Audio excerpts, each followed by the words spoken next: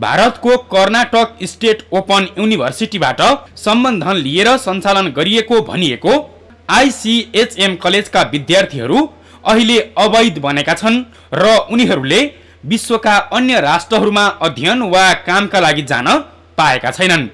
किनभने भारतको विश्वविद्यालय अनुदान आयोग युजिसीले कर्नाटक स्टेट ओपन युनिभर्सिटीको डिस्टेन्स लर्निङलाई अवैध घोषणा गर्दै प्रमाणपत्रहरू मान्य नहुने बताएको छ। हेर्नुहोस् यो पत्र।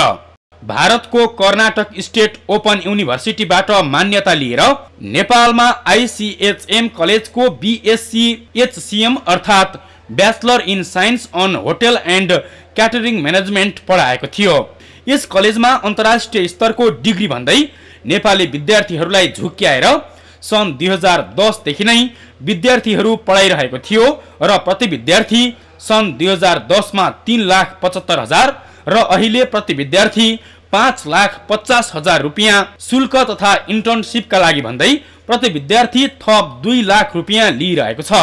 तर यति धेरै पैसा समय र उमेर गुजारेर अध्ययन गरेका नेपाली विद्यार्थीहरूको प्रमाणपत्र अवैध घोषणा भयो। एउटा दुई हजार बाह्र पछाडि युनिभर्सिटीलाई खारेज गरिसकेको थियो इन्डियाको युजिसीले विश्वविद्यालय अनुदान केन्द्रले। तर युनिभर्सिटी ग्रान्ड कमिसनले खारेज गरिसकेपछि दुई हजार चौधसम्म यहाँ भर्ना लिइराख्यो। अब त्यसरी त्यसरी भर्ना लिइराख्यो। अब त्यो स्टुडेन्टहरूलाई सल्टाउने उ गर्ने छैन। यिनीहरूले होइन युनिभर्सिटीले पर्मिसन दिएको छ हामी भर्ना लिइराखौँ भनेर यसरी ठगिने राखे। अहिले गएर सबै दोषहरू युनिभर्सिटीलाई लगाइरहेछ शिव कुमार श्रेष्ठ म्यानेजिङ डाइरेक्टर बनेर खोलिएको आइसिएचएम कलेजका विद्यार्थीहरूको तिन वर्षको अध्ययन र आठ लाख भन्दा बढी रकम बालुवामा पानी भएको छ। अहिले कतिपयले पाइसकेको सर्टिफिकेट बेकामे बनेको छ भने कतिपयले सर्टिफिकेट नै पाएका छैनन्। तर पनि आइसिएचएम कलेज भने आफूले कुनै गल्ती नगरेको र आफूलाई कर्नाटक विश्वविद्यालयले झुक्क्याएको भन्दै पन्छन खोजेको छ।